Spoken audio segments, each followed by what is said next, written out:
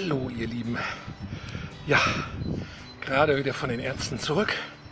Und ich muss sagen, äh, Schneeregen, total tolles Wetter. Na, jetzt gerade mal ist ein bisschen die Sonne rausgekommen. So ein Ideechen. Ja, so ein Mini-Strahl. Aber die Regenwolken ziehen schon wieder drüber. Ja. Ich habe also keinen Regentanz aufgeführt. Ne? Das ist das Gemeine, aber trotzdem regnet dann halt. Äh, nichtsdestotrotz Arztbesuch mal wieder. Hey, super. Wenn das weitergeht, werde ich noch gesund. Äh? Ja, wollen wir auch nicht. Ne? Ja, ne, so ist das. Jo.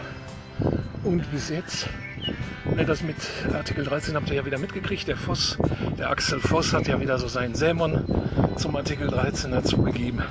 Der gute Mann lernt es heute, aber der lernt es nicht mehr. Der lernt es absolut nicht mehr. Ne, da brauchen wir gar nicht mehr drüber. Das, das, das, also der schafft es noch, dass die CDU richtig Stimmen verliert. Aber hey, was soll's. Was soll's. Ne?